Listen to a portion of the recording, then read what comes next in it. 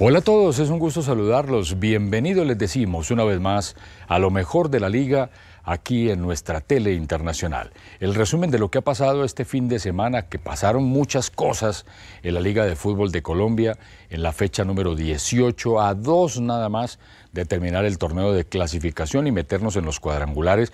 Todavía no hay nada resuelto, solamente eh, hay algunos equipos ya clasificados, el caso de Nacional, de Millonarios, de Tolima, de Pereira, del Deportivo Cali que se metió, pero todavía quedan algunas casillas y equipos que, que tienen todavía posibilidades de clasificar a pesar de que están colgados, eh, como el caso de Santa Fe, que no pudo ganarle al Junior, del Bucaramanga, que sacó un punto de oro en Medellín con Nacional, como el caso del Medellín, que ganó en Tunja frente a Patriotas, y bueno, un poquito menos el América de Cali, que desafortunadamente para el técnico Juan Carlos Osorio, para los hinchas, para los directivos, em, pues tenía que sacar un resultado en Bogotá frente a la Equidad y perdió y con esa derrota pues América se alejó de la posibilidad de clasificar. Solo un milagro lo haría entrar porque ya no puede llegar sino a 29 puntos, mientras que hay equipos que pueden inclusive pasar la barrera de los 30 puntos.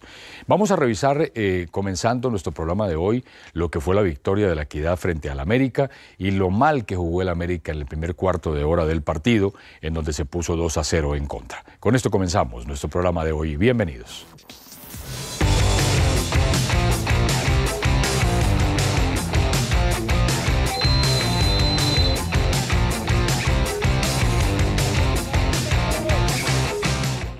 El primer gol es de un saque de banda, de Correa, que se la da a Torralbo y Torralbo se las ingenia para hacer un giro y meter el centro que va a parar al segundo palo y aparece solo, solo David Camacho para meterla de cabeza y señalar apenas en cinco minutos el primer gol del compromiso. Ya el América estaba perdiendo, imagínense, cinco minutos nada más. Tenía que ganar y ya empezando el partido estaba perdiendo, pero eso no es nada.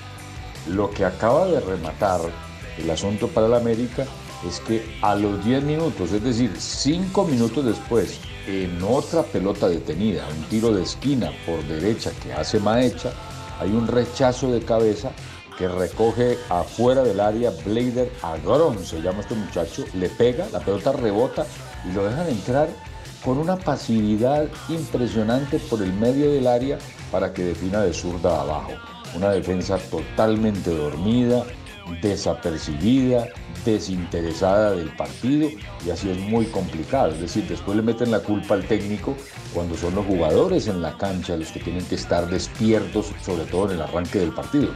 2 a 0 es demasiado ya para remontar. Así se fue todo el primer tiempo y empezando el segundo tiempo, Lucumí desde afuera sacó un remate una jugada muy bonita que él mismo se imagina, la ejecuta y la remata y la pone en un rincón para aproximarle el marcador al América, que no encontró por ninguna parte cómo empatarle a la equidad.